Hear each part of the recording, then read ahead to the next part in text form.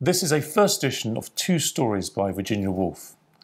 My name is Pom Harrington and I'm the owner of Peter Harrington.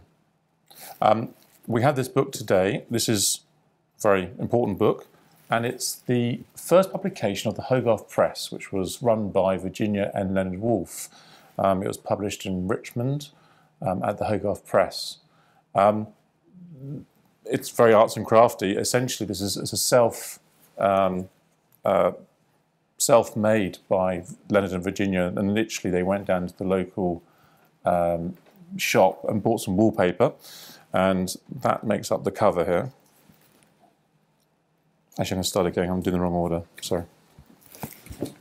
Um, you should say hand printed. Hand printed, thank you. Because that's printed they bought a press, hand printed it, thank you. found it up themselves. Yeah, yeah, but also I do that afterwards. I want to show why inside first. Okay. And also I dropped it and I should have kept it up. this is a first edition of two stories by Virginia Woolf.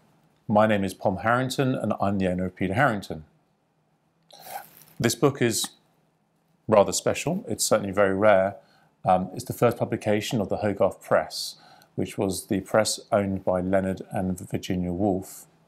Um, let me open up and we can look at some of the details inside.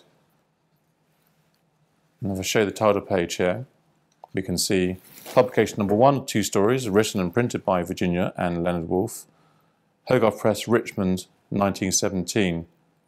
There were only 150 copies printed of this book. Um, contains the two stories, The Three Jew by um, Leonard Woolf and The Mark on the Wall by Virginia Woolf. The woodcuts by Dora Carrington, and we have four woodcuts in here.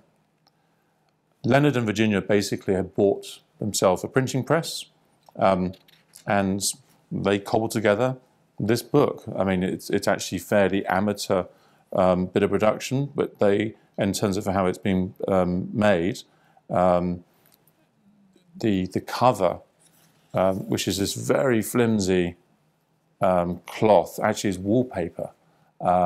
they uh, literally went down to the local shop, bought some wallpaper, cut it up and just printed um, over the top of it. And then they, if I open this up, you'll see the stitching is literally just hand stitched together um, at the press. And there we are. And there's the original stitching um, in the middle there.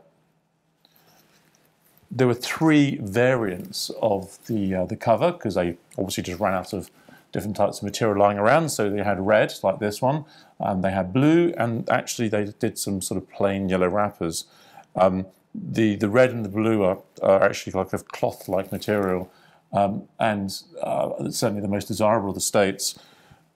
When, when you're looking for a copy of this book, then really what it's all about is the condition.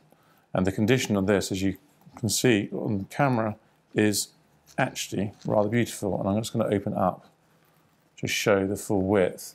Um, the, the white in the, in the material is very prone to going brown and yellow. And uh, as you can see with this example, it is still extremely white. Uh, there's no restoration or repairs. Um, and you would describe this copy as being really a fine copy and uh, frankly a magnificent example of the book.